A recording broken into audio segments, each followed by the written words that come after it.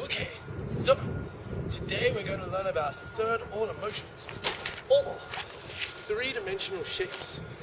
What I'm going to give you is a training exercise that will help you with being able to plane change and this one is working with anti-spin.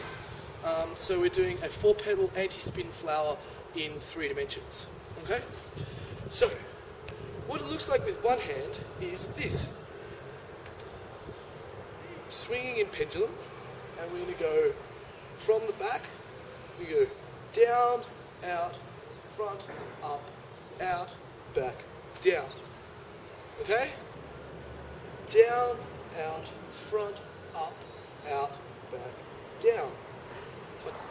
So, if I do that with both hands, it's going to look something like this.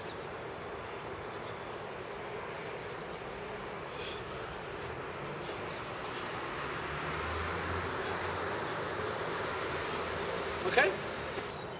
If you ever want to work in changing your planes, freeing up your motion, and being able to go from wall plane to wheel plane in one moment, I suggest this is as a very useful training exercise to help you build those points where you can change. So, where are those points? Well, if we imagine that there is an octahedron surrounding us. Now, an octahedron is an eight-sided object, eight-sided diamond that has six points. There are two here, two here, and two here. Okay?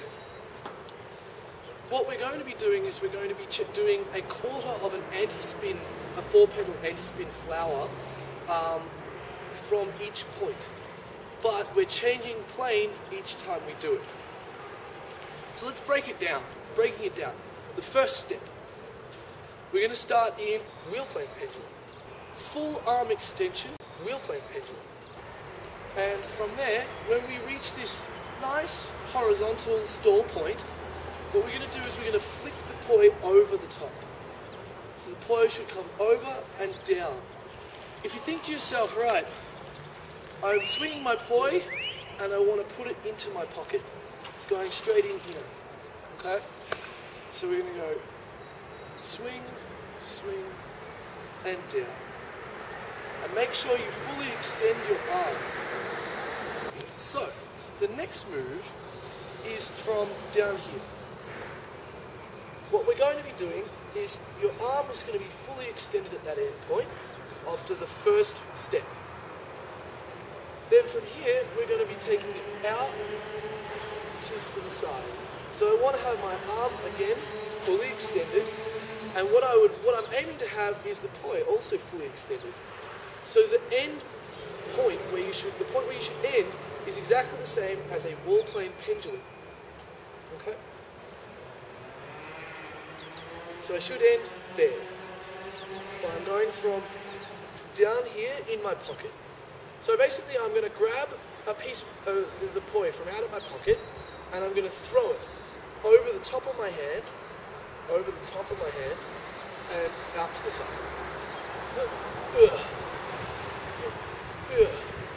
This is going to be a weird motion at first. It's going to be something you're probably not used to, but it will take, with a bit of practice, you should be fine. Third step. Now, the third step is using this, we're going to learn this using this horizontal, uh, this wall plane pendulum that I was just talking about. What we're going to do is when you hit this horizontal stall point on this side, on this right hand side, is you're going to do an anti-spin over the top of your arm. And you should end up in wheel plane pendulum. Okay? So we're just going to practice that. We go from wall plane pendulum, anti-spin, to wheel plane pendulum. Now you'll know if you're doing anti-spin because if you do in-spin, it will you'll, you should end up here. Okay? You'll end up with the, the poi in the center. Now, if you do anti-spin, it should just neatly do a quick quarter cycle from out here, around to the front, down into wheel plane pendulum. Good. All right. Number four. Number four. We're in this wheel wheel plane pendulum. What we're going to be doing, instead of continuing on like we would maybe into a horizontal four beat anti spin, we're going to move into the uh, four petal wheel plane, uh, forwards anti spin. So at this frontal horizontal stall point, we're going up. Okay? Up. Now, you can do it outside or inside the arm. I suggest inside the arm. Okay? Now, the point of this is really the, the tricky part is trying to get that nice point up top. You want it to be directly above your head, and you want it to be a really nice point. So we're going to go up and back. Up, up, up, up, up. Okay? Just practice doing that nice little quarter circle swing, up and back and up and back. And that should help you. Number five. Number five. Number five is from the top point. So, if I, again, I would get into number five by having done number four. So we're going to start in this wheel plane up to the top point. And then once you hit that top point, you're going to take your hand up to the top point, and then I want you to drop your hand down to the side. Okay? So we go up to the top point, drop your hand down. Okay? Number six is the last little bit. So we're now out on the side, back into our wall plane pendulum. Wall plane pendulum, and again out on the right side, because I'm using my right hand.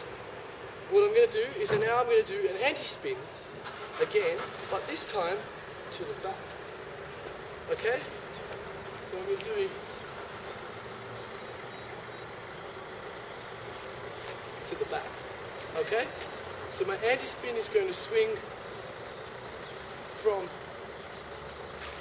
here towards the front, but move towards the back. Okay? Alright? So that gives you your six uh, your six points. The last really mean, mean, mean little bit of this process is getting from the back back down.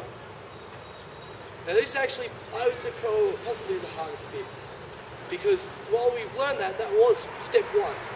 We learn that with the horizontal, the wheel plane, the wheel plane pendulum, and we're going to go over and down into our pocket.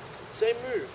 But once you've gone all the way through it, it's a bit of a bitch. So don't get too stressed about that. If you can only do one cycle, that's good. Do one cycle, spin, do another cycle, spin, break it down. Okay. My suggestion with learning this is to learn is to learn each step on its own combine them. The first two. So one and two, we're going to go down and out the side down and out. Now I'm in wall plane pendulum. Okay, I can relax. And then two and uh, three and four, we're going to go to the front and up, to the front and oh, and now I'm in wheel plane pendulum. Okay. This time I'm going to do four again, right? So four and five. Okay four and five. Whoa. Now I'm in wall, uh, wall, wall plane pendulum again. Okay? This time I'm going to do five and six. Five and six. Okay? So just going to go there again. One, two, three, four, five, six. So, don't forget your left hand. Very important. Remember, as always, try to practice everything with both hands and preferably in both directions. You can do this in the reverse direction. It's complicated, but it's doable. Um, if you get it, let me know. so, of course, left hand, we're going to go down, out, front, up, out, back, down. Okay? Again, break it down like you did with the first one and just practice, practice, practice.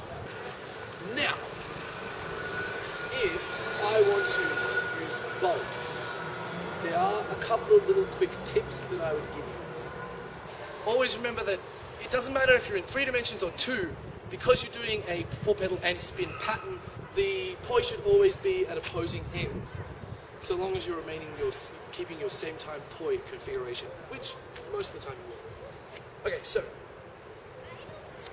same time, opposite ends, exactly the same. This time, get into it from, again, the wheel plane pendulum. Wheel plane pendulum. One is going to go up and the other is going to go down. Up, down. Okay? So let's just see that from the side. Up, down. Okay? Or up, down. Whichever you prefer, whichever you're more comfortable with, is what I suggest when starting this. Learn both later on, because then you can, when you learn both, and you also learn, you can begin to learn to enter this pattern from any of the six points. Okay, so the last little tip I've got is actually something from a, mm, it's a geometric tip. So, if I think, I mentioned before we had an octahedron, so an eight-sided, an eight-sided diamond. Now, if you imagine that the diamond is, the middle of the diamond is my points here. So I've got the two points here, two points here, and I've the two points up. Each face of the diamond is going to be a triangle. Okay? To make these anti-spin, to make these anti-spin motions, you want to move your hands in the lines of the triangle. Um, should, so long as you keep the right rotation, it should spin. Okay? So if I go from behind me, I'm going to go behind and down. So I'm going from this back point down to my bottom point with my hand. Now out to the front, out to the front, up, down, back, down, out, front, up, down, back, down. Okay? Always, whenever doing any sort of plane changes, anti-spin, whether you're doing same time or split time poi, same time or split time arms, you need to remember that you're trying to move in these triangles with your arms. It will help you a lot. Hopefully we'll have you spinning freely in three dimensions and with complete range of movement in no time. I hope that helped and um, please, on this side we've got some really exciting news. We've uh, managed to put together a brand new Poi Dojo website. So have a look at that, uh, check it out. There's loads there, loads more there than there was before, and uh, a lot more to come.